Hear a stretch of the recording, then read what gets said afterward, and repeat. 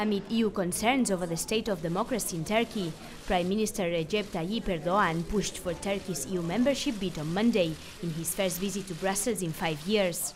Erdogan's trip comes after top EU officials expressed their worries on the independence of the Turkish judiciary system and the lack of media freedom. We are concerned, as many others in the European Union, about recent events in Turkey.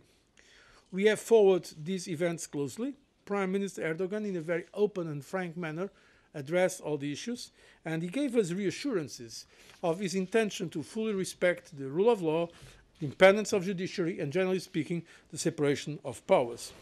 Earlier in December, the Turkish Prime Minister sacked prosecutors and police officers that tried to investigate a corruption case in which people close to him were involved.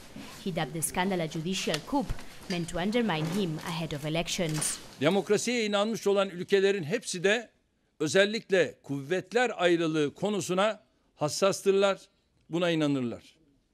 Hukukun üstünlüğü noktasında zaten yine demokrasiye inanmış olan ülkelerin burada bir problemi yoktur. Fakat yargının bağımsızlığı derken eğer yargı bağımsızlığını tarafsızlık ilkesinden saparak kullanmaya kalkarsa orada ciddi manada sıkıntılar doğar. EU ministers agreed to resume accession talks with Turkey last November after a three year break.